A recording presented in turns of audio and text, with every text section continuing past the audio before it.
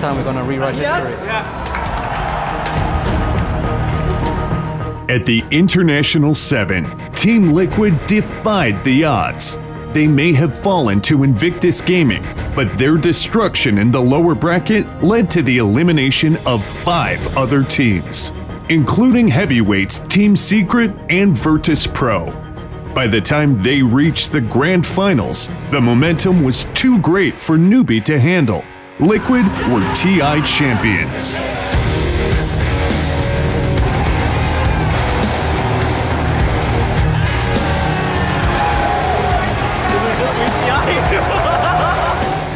Historically, the story of TI winners usually ends there, but for Liquid, it was just the beginning.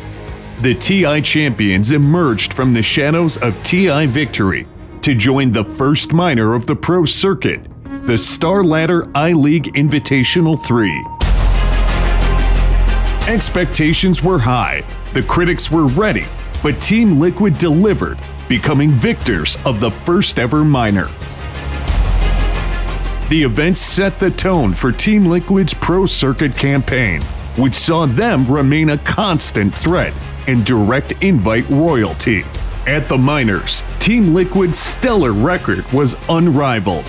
Not only did they place top three in all five of the minors they attended, but they also won three, the only team to do so in the entire season. What is more, in the finale to the Dota Pit Minor, Liquid even came back from 2 0 down to win 3 2, the biggest comeback of any DPC Minor Grand Finals.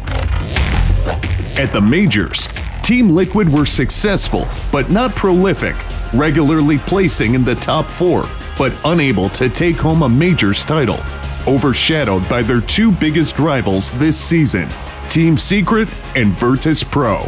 Regardless, Team Liquid were part of some of the most memorable series on the DPC, especially at the Bucharest Major, where their clashes with Evil Geniuses and Virtus Pro in the playoffs went right down to the wire, much to the delight of Dota 2 fans worldwide.